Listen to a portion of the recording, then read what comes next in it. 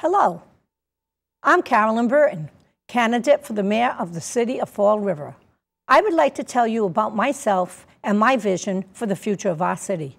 For those of you who do not know me, I am a native of Fall River, educated in our public schools along with my sisters, brother, and my children.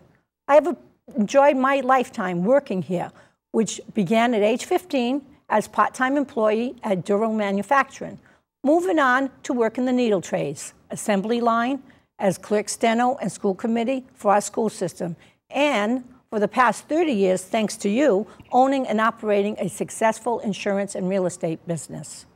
I am a property owner here for 34 years. I am second generation American. Like many of you, my father fought in World War II and my brother in Vietnam. I am a mother, grandmother, and great grandmother, but mostly I am a daughter of this city. Why am I running for office?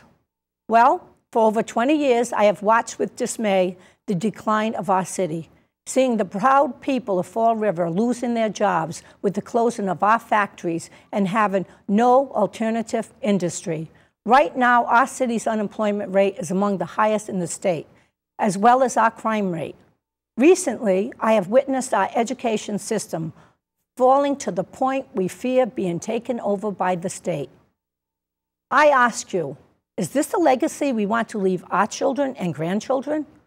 Luckily, my parents taught me to question everything. Well, folks, here are my questions. Why are we continually electing people who promise and never deliver?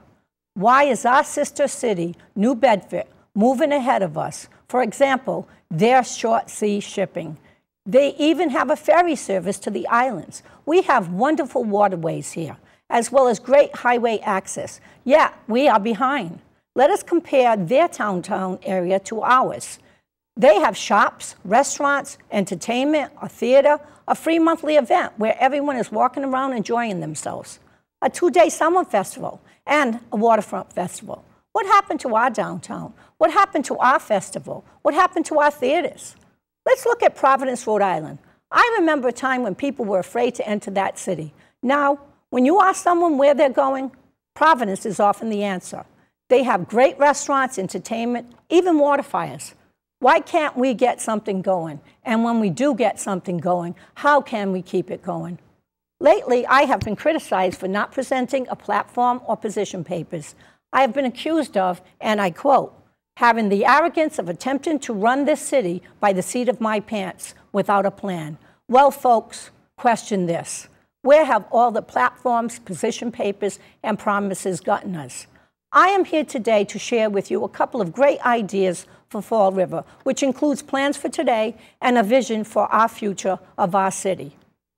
Where did I get these ideas? From you. How? By asking questions and paying attention to your answers. Idea number one.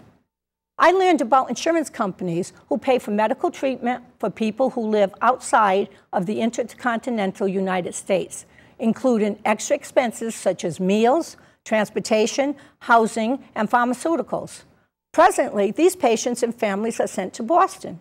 How easy it would be for us to develop a plan showing these companies how they can save money by utilizing Fall River's great medical facilities, as well as saving on additional expenses while being treated here.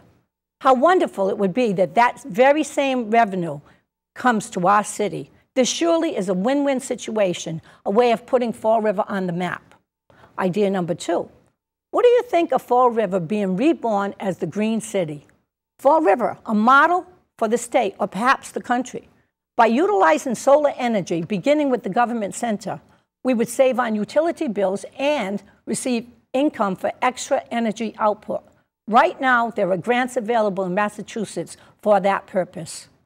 I am an ordinary citizen who is not going to give up on Fall River. I do believe the citizens of Fall River deserve a promise from their candidate. So I promise to be your voice. I promise to run this city like the business it is. I promise to do everything in my power to unite the people of Fall River and give each and every one a voice in the operation of our city. If you agree with me, please cast your ballot for me for mayor on September 13th and help me help you take our city back.